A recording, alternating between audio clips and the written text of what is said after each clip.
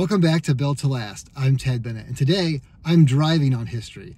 I'm driving on America's oldest concrete street, Court Avenue in Bellefontaine, Ohio. And today we're going to find out why Court Avenue is built to last.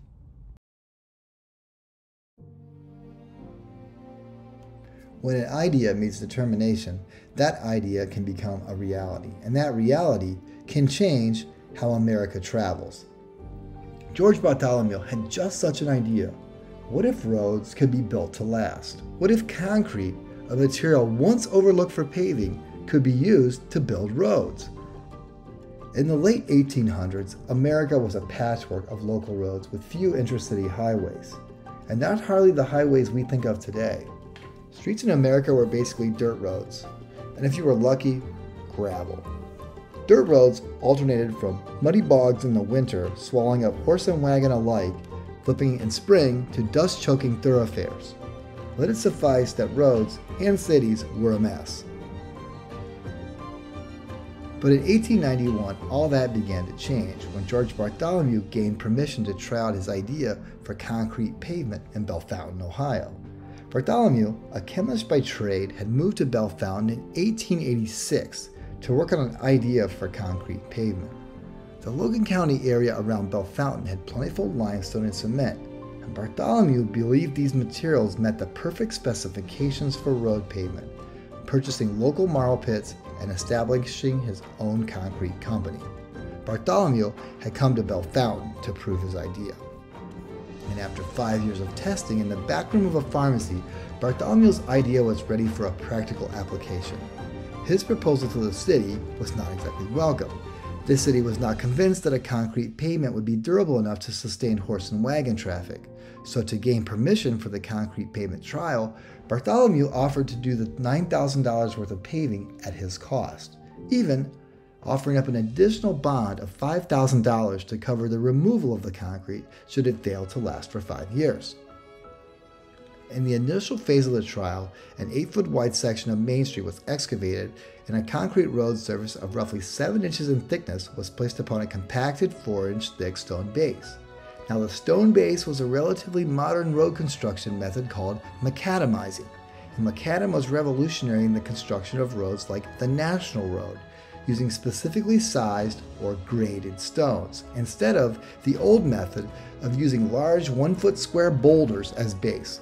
Smaller aggregates are, are better at locking together, therefore stronger, and forming a uniform base that also drained better.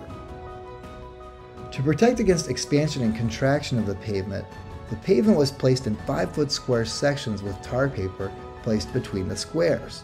And for added traction, the surface of the concrete was roughened. Both of these features seem like modern features as we look at them today, but as a civil engineer, the resemblance of this first road to the concrete pavements that I have designed is uncanny.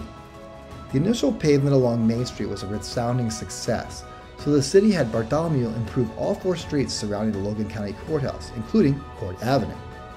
And Bartholomew really did get it right. Testing of the concrete with modern equipment has indicated compressive strength of somewhere between 5,000 to 8,000 psi, which even on the low end meets ODOT's modern strength requirements. It's truly amazing that Bartholomew got it so right from the get go. But knowing that, it's no wonder that Court Avenue is still here today. Word of Bartholomew's success with concrete pavement didn't take long to reach the national stage. In 1893, Bartholomew's Concrete Road earned first prize for engineering technology advancement in paving materials at the famous Chicago World's Fair. That World's Fair featured alternating current, Nikola Tesla's electric induction motors, and the first performance of the Pledge of Allegiance. Engineers and municipal officials traveled from far and wide to come to Bellefontaine to see concrete streets. Taking those ideas home, while Bartholomew took a tremendous step to perfect and build America's oldest concrete street, a lot of credit for the preservation of the street goes to the city of Bellefontaine.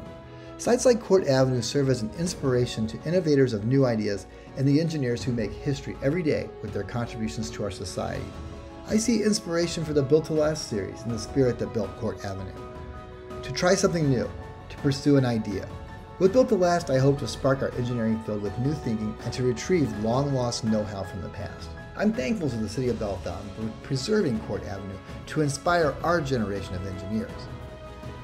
As America's oldest concrete street, Court Avenue remains a testament to the value of quality materials, thoughtful engineering, and of course, community pride.